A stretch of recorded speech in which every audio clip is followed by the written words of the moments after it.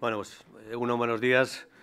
Eh, les hemos convocado para presentarles el ciclo de conferencias que los socialistas vascos, en colaboración con la Fundación Ramón Rubial, vamos a celebrar próximamente, en la que participarán personalidades eh, y dirigentes políticos de Europa, de la izquierda europea, referentes de la izquierda tanto en Europa como en el conjunto de España y también eh, profesores universitarios y expertos sobre determinadas materias que nos parecían de interés para discutir en estas eh, conferencias. En concreto, el primer ciclo de conferencias, que podrá tener continuidad en otras, se celebrarán entre los días 23 y el 1 de febrero.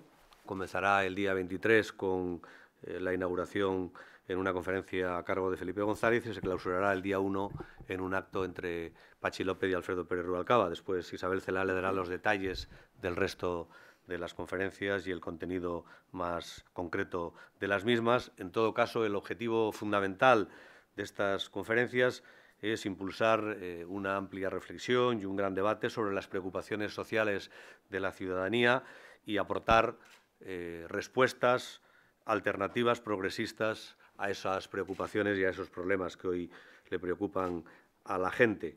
Por supuesto, hablaremos de globalización, hablaremos de crisis, hablaremos del modelo de Estado, por supuesto de federalismo, del papel de las autonomías y los ayuntamientos en esta crisis para eh, también cómo afrontarlo desde esas instituciones. Hablaremos de políticas de igualdad, eh, de políticas económicas eh, para eh, resolver los problemas que tiene eh, la gente del modelo de Europa que ofrecemos eh, los socialistas. En definitiva, queremos seguir haciendo reflexiones y elaborando propuestas para ofrecer alternativas que generen ilusión, confianza, para que la izquierda y los progresistas podamos contar con el respaldo ciudadano para poder aplicarlas tanto en Europa, en España y en, Euskadi. el objetivo fundamental también tiene que ser avanzar en mayores cuotas de igualdad y progreso para el conjunto de la ciudadanía, en contraposición a lo que viene siendo eh, la política eh, neoliberal o de la derecha que está imperando en, Europa. Las conferencias tienen también un objetivo complementario, no menos importante, que es que eh, sean un instrumento de formación para los cuadros y líderes del socialismo actuales y de futuro.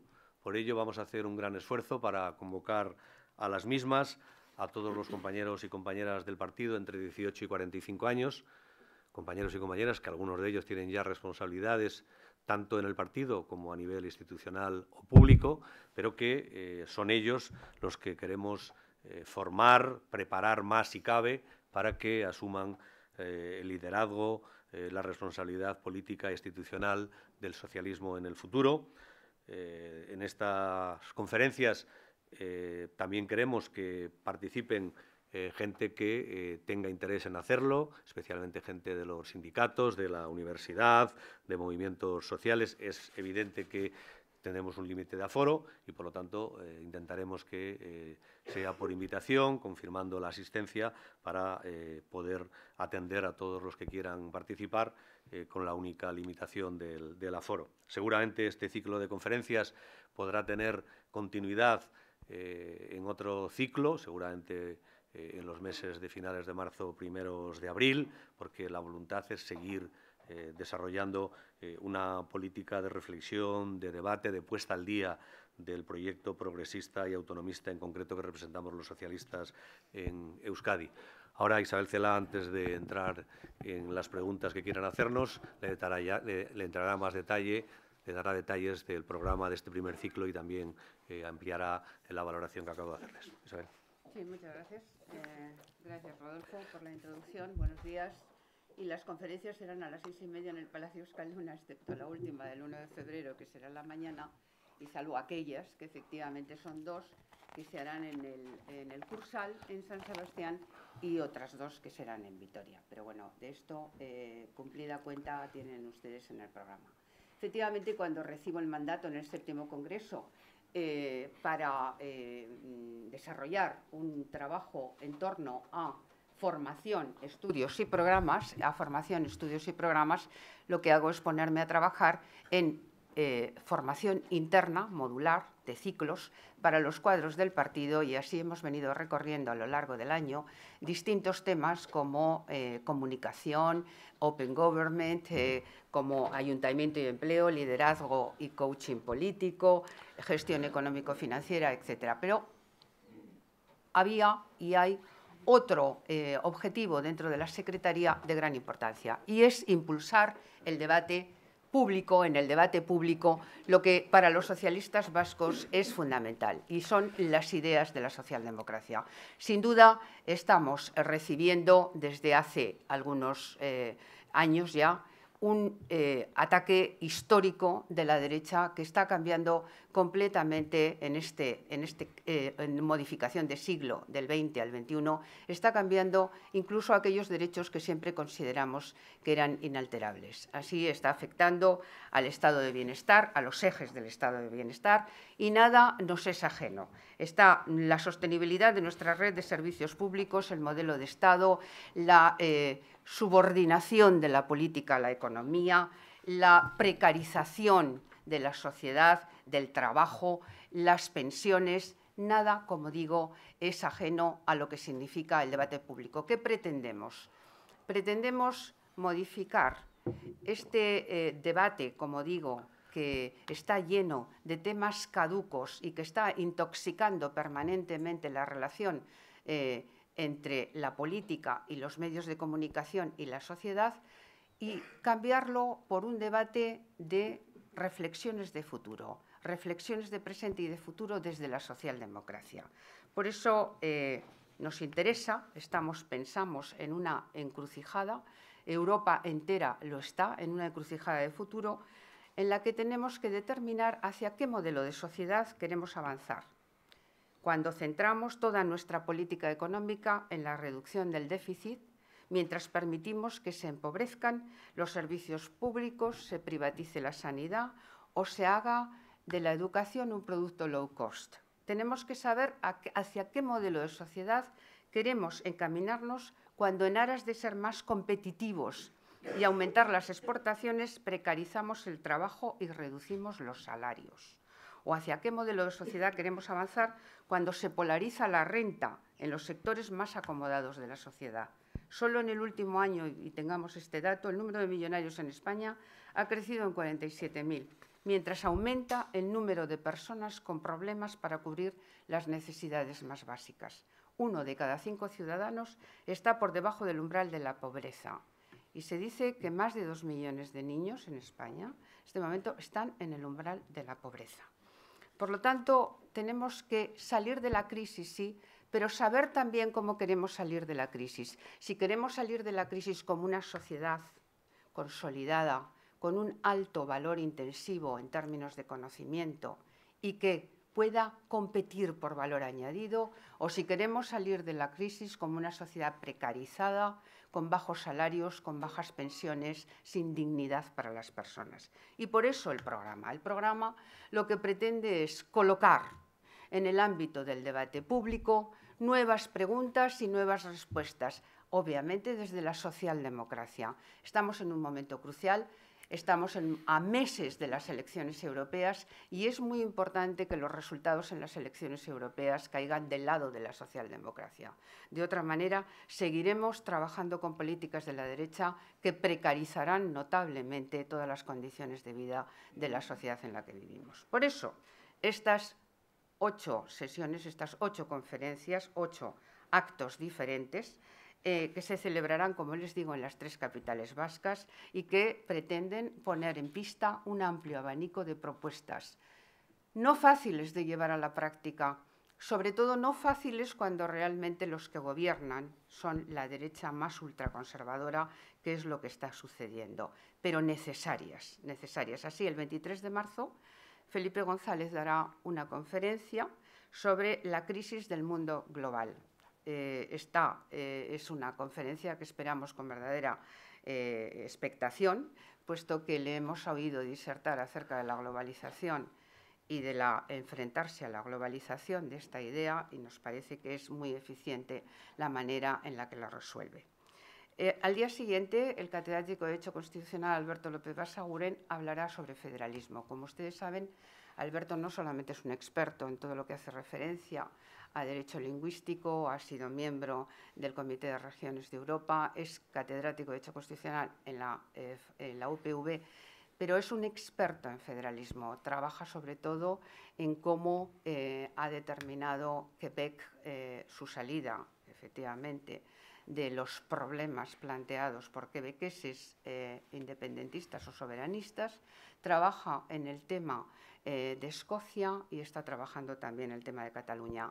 Queremos que nos diga qué federalismo, puesto que hablar de federalismo es hablar de los temas federales, eh, distintas formas de federalismo, para qué y por qué en este momento es interesante una reforma constitucional en clave federal.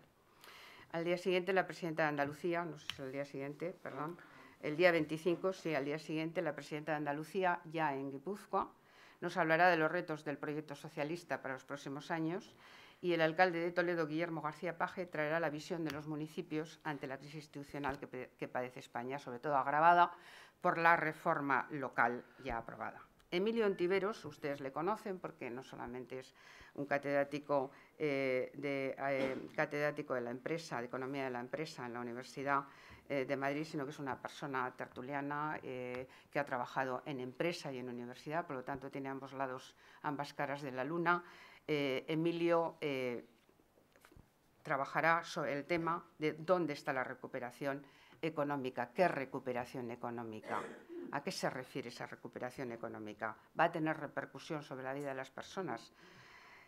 Además, además eh, tendremos también a Javier Fernández. Javier Fernández, presidente de Asturias, eh, es un clásico, es una persona eh, que explica las razones de la izquierda como casi nadie, es decir, con una profundidad intelectual muy, muy importante y política, y por lo tanto tendremos oportunidad de oírle. El día 31 de enero tendremos a Martín Schulz, acompañado de Elena Valenciano, hablando sobre Europa.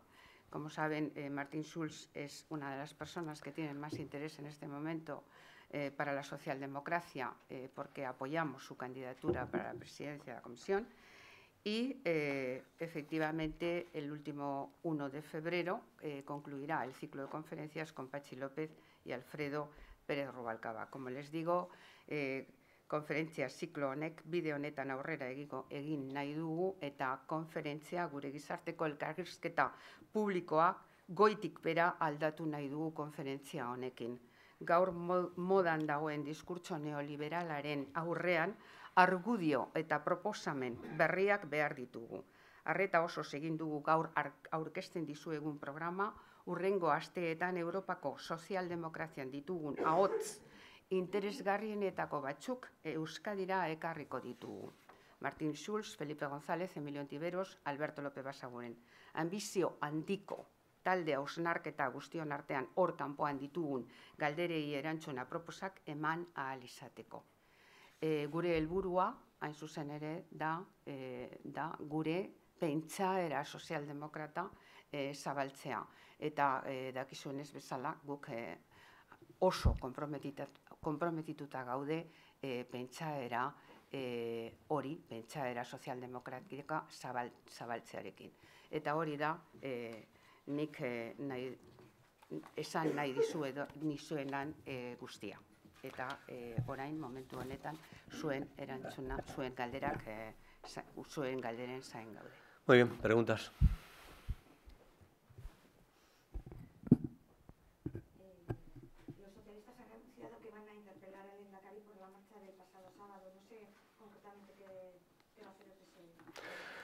Estamos en estos momentos eh, planificando las iniciativas que vamos a adoptar en el Parlamento.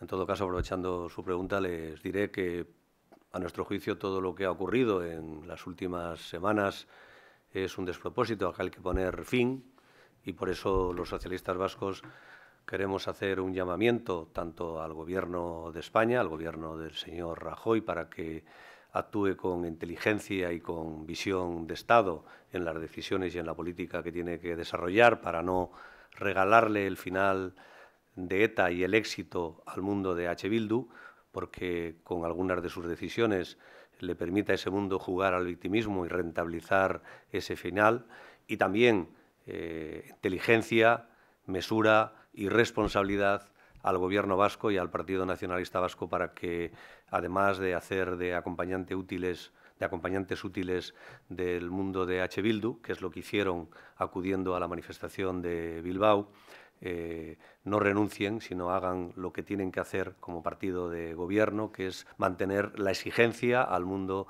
de H. Bildu para que siga dando pasos, para, para que reconozca el daño causado por su apoyo y justificación al terrorismo, para hacer eh, una política que busque la unidad y el consenso y no la fragmentación para que en vez de pensar en rentabilidades electorales o en presencias oportunistas, eh, haga una política responsable que de verdad permita, insisto, buscar la máxima unidad y trabajar para asentar la convivencia sobre valores éticos y democráticos que compartimos y que todos tenemos que exigir. Cuando habla de despropósito, ¿a qué se refiere? ¿A policial? ¿A la de la manifestación? ¿A la manifestación? Todo lo que está ocurriendo en relación con eh, la gestión del final de ETA tiene que hacerse de forma eh, inteligente y con visión de Estado. El Gobierno de España tiene que asumir que no se puede hacer la misma política eh, ahora, que ETA no comete actividades terroristas porque hemos conseguido que acabe definitivamente con toda su actividad terrorista, que no se puede hacer la misma política que antes, cuando los presos de ETA y el colectivo ha asumido que quiere recorrer eh, el camino de la legalidad, que asume la legalidad, que asumen el, daño causado. En definitiva, hay que hacer una política que eh, rentabilice eh, al máximo las decisiones para conseguir el principal objetivo, que es que ETA desaparezca definitivamente, buscar la máxima unidad para conseguir ese objetivo y que además el final de ETA lo rentabilicemos el conjunto de los ciudadanos y no eh, se le permita a EH Bildu, jugando al victimismo, ser quienes rentabilicen el final de ETA. Sí, esta mañana en, la mesa del Parlamento el Partido Socialista ha votado que sí a una proposición de Bildu para debatir la operación del, del pasado miércoles. Han habido también algunas primeras críticas desde el Partido Popular y, UPyD. ¿En qué razones se ha basado el Partido Socialista este Mire, lo que hay es una iniciativa de un grupo parlamentario para pedir la Diputación Permanente. Nosotros siempre hemos eh, apoyado que cuando si hay una solicitud que cumple los requisitos reglamentarios, eh, se pueda reunir la Diputación Permanente, lo que tengamos que decir en relación con el fondo de la cuestión y con la iniciativa de H. como usted comprenderá, lo diremos en la propia Diputación Permanente y en el Parlamento. Eh, creo que en el Parlamento es el lugar donde se pueden discutir las diversas eh, posiciones e iniciativas de cada uno de los grupos y creo que el Partido Popular, eh, una vez más, debería entender que si alguien está siendo exigentes, exigente con el mundo de H. Bildu somos los socialistas. ¿Alguna pregunta más?